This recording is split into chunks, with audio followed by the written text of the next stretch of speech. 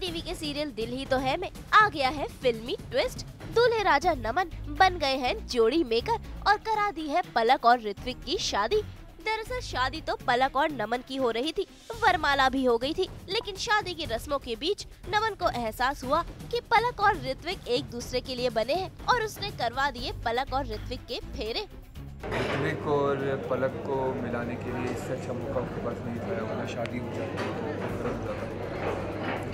तो कहीं ना कहीं ये बेस्ट ऑप्शन था उसके पास। उसको पता चल चुका था कि फाइनली वो साथ में। फाइनली बन गई है पलक और ऋत्विक की जोड़ी। लेकिन इस शादी से पलक की माँ खुश नहीं है। भाई अब शादी तो हो गई है लेकिन देखना दिलचस्प होगा कि इन दोनों को और कौन कौन सी मुश्किलों का सामना करना पड़ेगा। फाइनली जब नमन और उसके पेरेंट्स उसके पापा जब उसे बोलते कि that he should not marry Naman और उसको ऋतिक से शादी करनी चाहिए। उससे प्यार करती है। जब प्यार तो उससे शादी करनी चाहिए। तो फिर वो चाहती है ऋतिक के पास और उसे बताती है कि वो no I am going to marry you